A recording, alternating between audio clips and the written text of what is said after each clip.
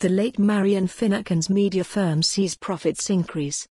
Profits at the media company led by the late Marian Finucane jumped by more than 140,000 euros to just under 900,000 euros last year. New accounts lodged by the late RTE broadcasters Montrose Services Limited show that at the end of October last, the company's accumulated profits totaled Euro 833,554. The accounts were signed off by company directors, Ms. Finucane's husband, John Clarke and their son, Jack, on January 30 last.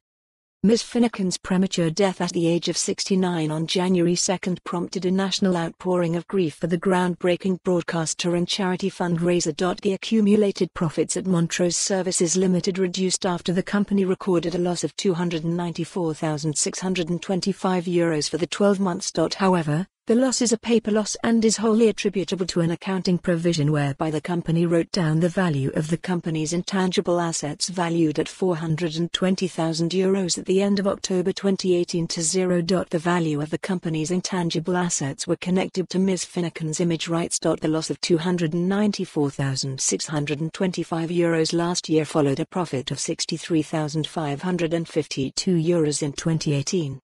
The company's cash profits last year increased by 140,784 euros from 755,862 euros to Euro 896,646. The most recent JNLR figures revealed a surge in listeners for Ms. Finucane's Sunday show increasing by 19,000 to 309,000. Ms. Finucane's Saturday show was the third most popular show in the country and the Sunday show was the country's ninth most popular show poignantly at Ms. Finucane's funeral last month, her husband John stated that she had decided to retire from her RTE post in December. Mr. Clarke stated that they had been so excited at the prospect of retirement.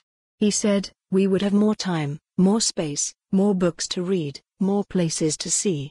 Sadly, that's not going to happen. Ms. Finucane was not a paid employee of RTE and instead was employed as contractor. For more on this story, visit the news article link.